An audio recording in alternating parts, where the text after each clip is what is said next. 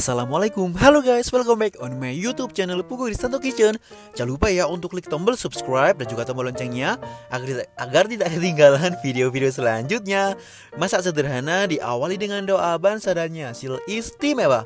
Excited banget aku kali, kali ini aku bikin es krim Milo. Ye, dua bahan aja. Ini yang bisa dicopot. Juga lah wapi kan? Cocok banget untuk ide jualan atau dimakan sendiri juga enak. Ini super lembut. Nggak keras sama sekali. Ini bener-bener lembut rek. Karena ini aku pakai dua bahan pakai es krim. Oke langsung aja mari kita membuat. Nah ini toh. Pakai uh, susu Milo sama es krim pon dan es krim pondannya yang instan. Beli di toko bahan kue pasti ada. Atau di supermarket biasanya ada kok rek. Dan bikinnya itu guama banget wis? Bener-bener gampang banget. Ini mau aku ambil ma ambil milonya ya susunya ya. Aku pakai kemasan yang kecil biar nanti waktu di plating itu biar biar biar bisa satu sunduan gitu loh rek. Jadi biar bagus biar lucu gitu totalnya 330 ml atau 300 ml lah pokoknya. Nah kita masukkan semua. Jadi ini tanpa tambahan gula tanpa tambahan apa biar nggak kemanisan ya. Ini aku belinya yang pondan ini kurang lebih berapa? Belas ribu gitu rek. Ini jadinya banyak kok. Jadi ini tinggal susu sama pondannya ini tadi. Kemudian tanpa mixer yo ini loh kalian aduk sampai pakai wisinika aja loh uh, bisa beku. Oh ya, tipsnya Milonya harus super super dingin. Kalian masukkan ke kulkas dulu atau ke freezer. Jadi cairan Milonya itu harus bener-bener dingin, Rek. Nanti kena uh, kena sama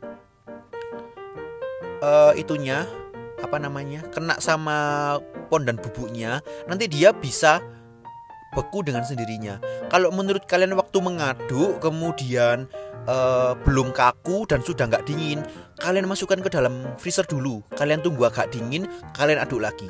Kalau sumpama kalau suhu rumah kalian panas gitu loh rek. Kalian masukkan ke freezer dulu cairannya tadi. Waktu diaduk kok nggak beku-beku kalian masukkan ke kulkas dulu sampai dingin. Nanti kalau sudah dingin kalian aduk lagi. Kalau panas lagi kalian masukkan lagi. Kalian aduk itu sampai beku. Ini wadahnya jangan lupa dibersihkan ya rek yo seperti itu. Kalian gunting biar rapi nah ini nanti jadinya itu kan seperti ini. Intinya bubuk pon dan es krim kalau kena cairan yang dingin dia itu bakal cepet kaku bakal cepet jadi krim kayak gini loh rek. Nah itu. Kalau cairannya nggak dingin nggak bisa kaku nggak bisa beku.